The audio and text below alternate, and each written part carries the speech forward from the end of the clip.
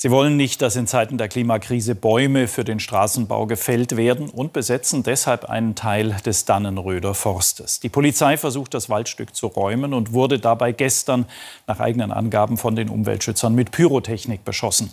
Anlass der Auseinandersetzung ist der umstrittene Ausbau der A49.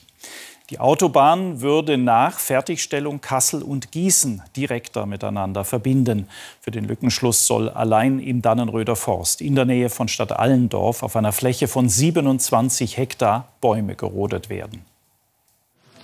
Etwa 50 Aktivisten harren auch den vierten Tag in Folge in diesem Abschnitt des Dannenröder Forstes aus. Ihr Ziel, die Rodung zu verhindern oder zumindest zu verzögern der Weiterbau der Autobahn A49 ein vor Jahrzehnten geplantes Projekt, das heute die Grünen in Hessen in Konflikt mit ihrer Basis bringt. Wenn die Bäume eine Krankheit hätten oder der Borkenkäfer oder so, dann ist es klar, dass Bäume gefällt werden müssen.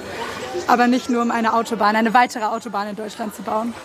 Auf der anderen Seite die Polizei mit bis zu 1000 Einsatzkräften ist sie auch heute wieder vor Ort. Ihre Aufgabe, die Baumbesetzer aus ihren Baumhäusern zu holen, um den Weg für die Waldrodungsarbeiten freizumachen.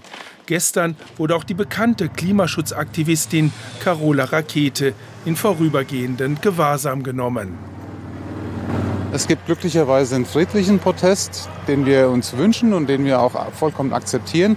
Es gibt aber auch, wie wir es gestern gesehen haben, leider aggressive Formen, die vollkommen inakzeptabel sind. Ähm, Angriffe auf Polizeibeamte, Beleidigungen fortwährend. Die Polizei will aber ihr Konzept der Deeskalation beibehalten. Doch das dauert. Bisher sind erst 200 Meter geräumt.